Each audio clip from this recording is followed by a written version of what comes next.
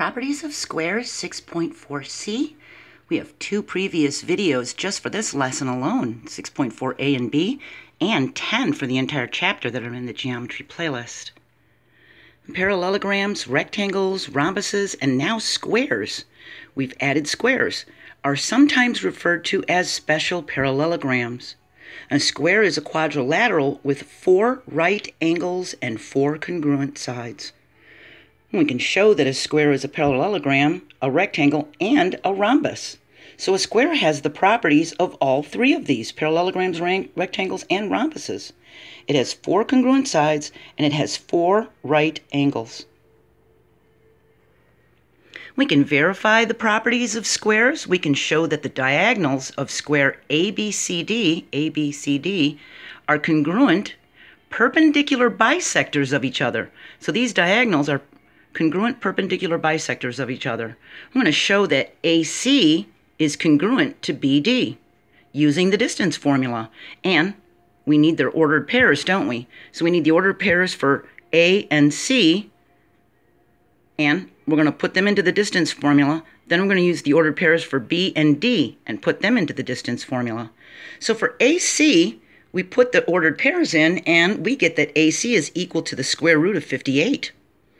We put in the ordered pairs for BD, and we get that it's also the square root of 58. So that's the length of each one. That's the distance between point A and C and the point B and D. And since A and AC equals BD, well, then segment AC is congruent to segment BD. Okay? So I've got the ordered pairs here again to help us out. We need to show that segment AC is perpendicular to segment BD using the slope formula. So this is the second part of trying to show that the diagonals are congruent perpendicular bisectors of each other. Okay, so this is the second thing we're going to do. First thing we did was put the points into the distance formula, all right, to show that those were congruent, that the diagonals were congruent. Now we're going to show that segment AC is perpendicular to segment BB, BD by using the slope formula. And we put in the ordered pairs according to the slope formula, and we find the slope of segment AC is 7 thirds.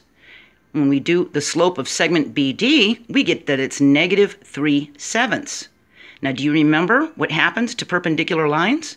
Since 7 thirds multiplied to negative 3 sevenths is equal to a negative 1, then they are perpendicular.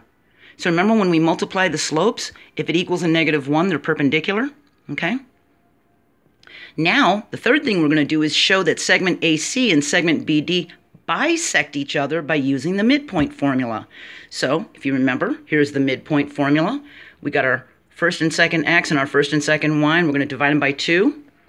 So, we use the ordered pairs again, and the midpoint of segment AC is 1 half for x and 7 halves for y and the midpoint of segment BD is 1 half for x, 7 halves for y. And since segment AC and segment BD have the same midpoint, they bisect each other. So, from these three steps, using the distance formula, the slope formula, and then the midpoint formula, the diagonals are congruent perpendicular bisectors of each other. Okay? We can use the properties of special parallelograms in proofs. So we're going to do a two-column proof. Look at this. Doesn't it kind of look like an envelope?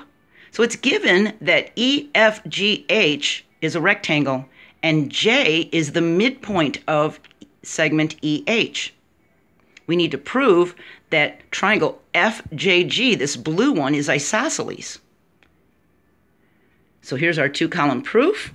We've got number one, EFGH is a rectangle and J is the midpoint of EH, and that's the given. Now, be careful because the given isn't always the first statement. It is a lot of times, most of the time, but every once in a while, it won't be the first one, okay? So keep an eye on that. Number two is that angle E and angle H are right angles. That's the definition of a rectangle. Then we've got number three, angle E is congruent to H. Well, if they're both right angles, then they're congruent to each other. It's the right angles congruence theorem. Number four says EFGH is a parallelogram because if it's a rectangle, then it's a parallelogram. And it tells us it's a rectangle in the given. See? Number 5 says segment EF here is congruent to segment HG here. If it's a parallelogram, then the opposite sides are congruent. Number six says segment EJ, this little segment right here, is congruent to HJ, this little segment here. Well, that's the definition of a midpoint. It told us in the given that J is the midpoint. Okay? That brings us to number seven that says triangle FJE, that's this little one here, is congruent to triangle GJH, this one here. And that's from side angle side from steps five. Here we have a side. Steps three, we have an angle. And step six, we have a side. So segment FJ, this one, is congruent to segment GJ, this one, because of congruent parts of congruent triangles are congruent, CPCTC. We know they have two sides and an angle that are congruent. So number 9 says that triangle FJG is isosceles because of the definition of an isosceles triangle. Definition of an isosceles triangle says it's got two congruent sides, and we've shown that, okay? All right, so to wrap up the special parallelograms for now of what we've learned, a rectangle is a quadrilateral with four congruent right angles, a rhombus is a quadrilateral with four congruent sides. A square is a quadrilateral with four congruent right angles and four congruent sides. So it's like we're combining the rectangle with the rhombus, isn't it? That's four congruent right angles, which is what that has. That's four congruent sides, which is what that has. And take a look at this table I've got here. If you look, for all these properties, opposite sides congruent, opposite angles congruent, look at this, consecutive angles, supplementary, all of these properties, look at square. He's got all of them. And look at rhombus. Rhombus has all of them except the diagonals being congruent. Because it could be, you know, a rhombus could be like, like this, you know? So this diagonal could be way longer than this one, couldn't it? Okay, not a perfect drawing, but do you know what I mean? It could be like short, but long. See? So that diagonal would end up being longer, okay? That's why that dot is missing. So the first four rows show that any property of a parallelogram is a property of all special quadrilaterals. So look at this. Here's parallelogram, and look, these first four rows, every single dot is filled in. See? They all share those properties. And the table shows that any property that is true for parallelograms, rectangles, or rhombuses is true for squares. And this makes sense because a square is also a parallelogram, rectangle, and rhombus. And a property of any of these quadrilaterals also applies to squares. Okay? So,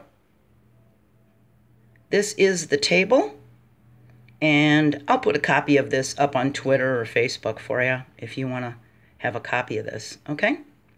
So, our next lesson is we're going to construct a rhombus that's 6.4D, all right? And don't expect to only use a current lesson's properties and theorems when writing proofs. Proofs build on previous knowledge and concepts from earlier lessons. So you may have to pull something way back from a couple chapters ago for your for your proof, okay? So, get your compass ready. We're going to be making a rhombus with our compass, and I hope I'll see you there. Have a great day. I'll see you next time. Bye.